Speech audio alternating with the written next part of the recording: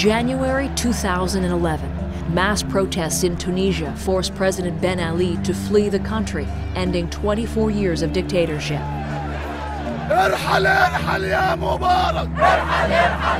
In February, Egyptian President Hosni Mubarak is toppled after 30 years in power. But in Syria, the people are mostly silent, cowed by over 40 years of brutal dictatorship. In March, a small act of defiance. A group of school children write slogans against the regime. They are imprisoned and tortured. In Damascus, Rami Jarrah is watching. We'd never imagined that something like Egypt or like Tunisia or Libya would ever happen.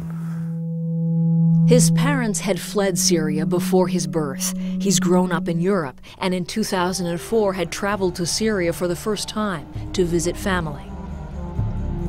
He's arrested at the airport, accused of being a foreign agent, and banned from leaving the country for three years.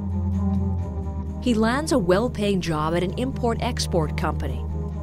He gets married. Now he hears something might happen at the Umayyad Mosque after Friday prayers. It will change his life. Prayers end. Everyone is aware of the secret police in their midst.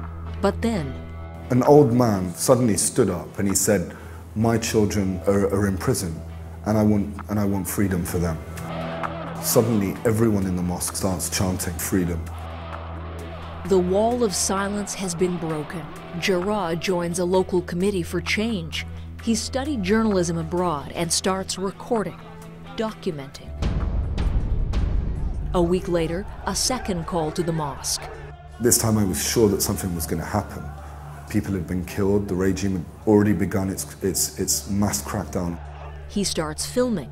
We'd realized that the media needed this, this material and we'd realized that there was no one else to film it. He's among hundreds arrested. There were people being dragged across the floor, streaks of blood everywhere.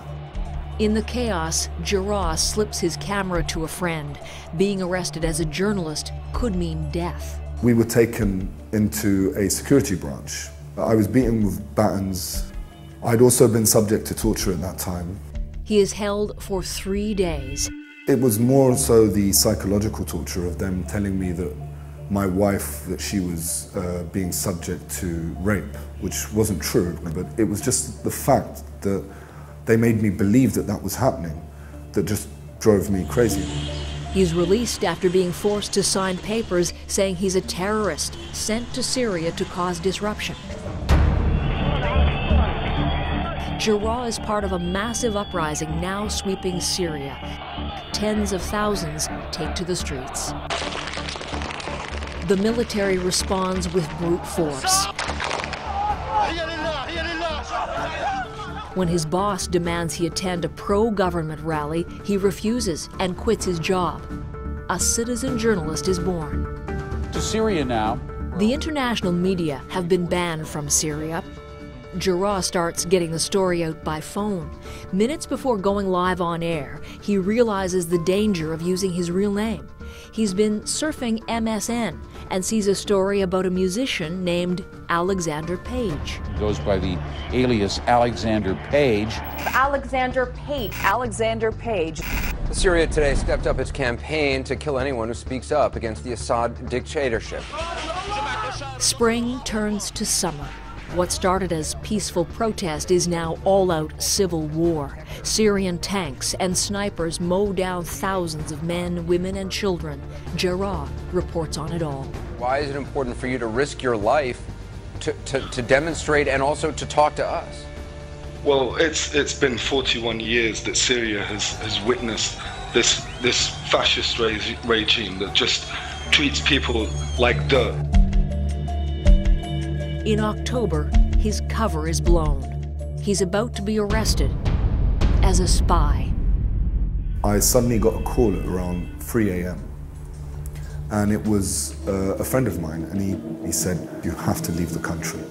He said that the name Alexander Page had been associated with my real name, and that they'd found out that it was me who was talking to the media.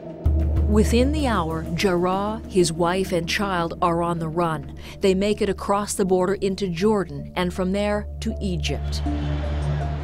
Here he co founds ANA, New Media Association, to coordinate and strengthen the work of citizen journalists on the ground in Syria and to bridge them with Western media. We're now on the way to the Syrian border.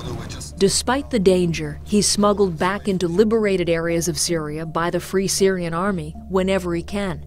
These people have no one to defend them, no one to help them with this transitional period, so I'm definitely worried. I'm actually terrified because everything else says that Syria is going into a very grim and dark future.